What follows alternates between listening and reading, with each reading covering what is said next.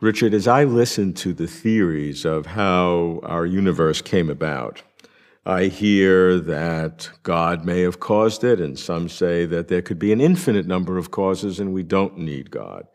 Others talk about the, the um, aspects of the, the, laws of physics and quantum theory, uh, with very strange kinds of causation, even backwards causation, as being involved in the creation of the universe. So I want to start earlier. I want to start with this concept of causation. Do we really understand what that means? There are different theories of causation around.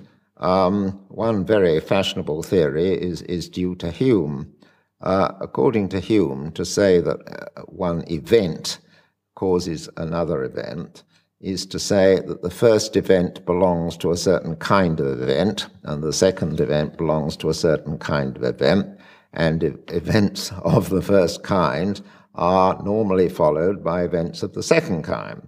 And so, um, if I light a match and apply it to gunpowder and the gunpowder explodes, to say that my lighting the match caused the explosion of the gunpowder is just to say that, as a matter of fact, uh, ignitions of matches are applied to gunpowder are followed by explosions, are followed in the sense of always have been, are now, will be.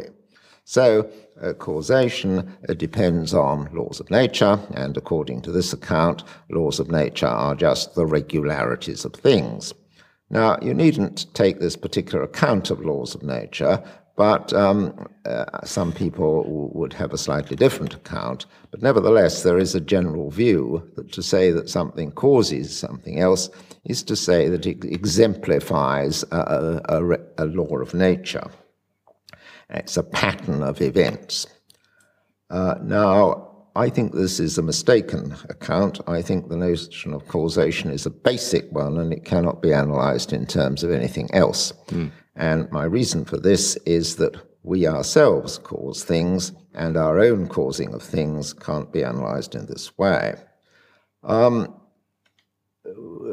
there's a distinction between basic actions and non basic actions. Non basic action is one which I do by doing a basic action.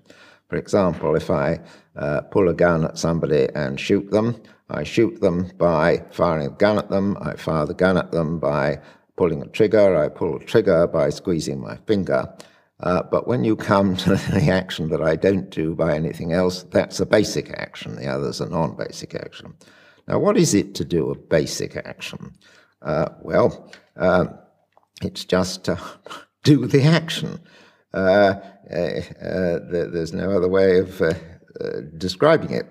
Um, you might perhaps say that I do it by trying to do it. And uh, sometimes we do want to say that when it's doing it is a difficult thing. But what is it to try to do something? Uh, what is it to, try, if you're holding my hand down, what is it for me to try to move it? Well, it's to do whatever I believe will make it more likely that my hand will move. Um, and there's no other way to describe it. I don't do one action and hope it'll be followed by the motion of my hand. There's no further action which I do. I just do my best to produce that effect. Uh, and therefore, in this case, you cannot analyze causation in terms of a kind of event being followed by another kind of event, because there is no kind of event of the first kind. There is just causing, that's all there is.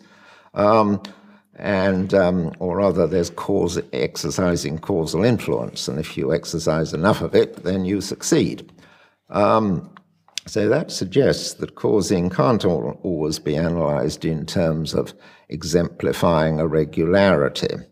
And if that's right in this case, um, let's see, go back and see if we can't analyze uh, causing in the case in the inanimate world where it does exemplify a laws of nature also in this way.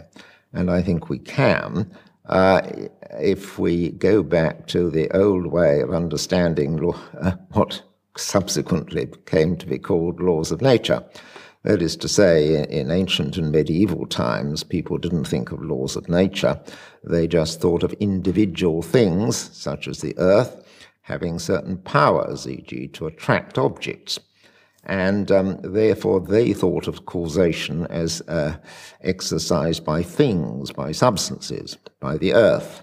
And that makes it more, and more similar to when I move my hand, the causation is exemplified by me.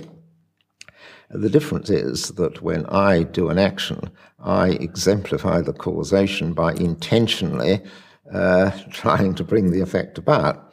Whereas uh, when the earth attracts um, a stone, uh, the earth has no choice about the matter. The earth has certain powers to attract the stone and a certain liability inevitably to exercise this. So you can't analyze causation in terms of laws of nature, but you can analyze laws of nature in terms of causation. Mm-hmm. Laws of nature just are the reg- causal regularities. What are the implications of that in terms of trying to understand the cause of all existence. Uh, some would say that you can analyze causation within the universe, but you can't analyze causation about the universe. Well, people used to say that just because they thought that uh, causation was a matter of exemplifying regularities. And uh, Hume was responsible for this idea. And Kant uh, got it from Hume, and Kant was very keen on this idea, and he therefore said that uh, uh, causation was simply a matter of patterns of phenomena. But once you've got rid of that idea that uh, causation has to exemplify regularities, uh, it's possible that there may be causation which doesn't exemplify regularities, singular causation, as it's called. Uh, and to say that God caused the universe um, is to say that uh, God has certain powers uh, which other things don't have uh, and that uh, he chooses to exercise it on a particular occasion, even though uh, he doesn't choose it to exercise it on any other occasion. So the way is open, uh, as it always was open in ancient and medieval times, to postulate a single, singular cause which isn't of a kind.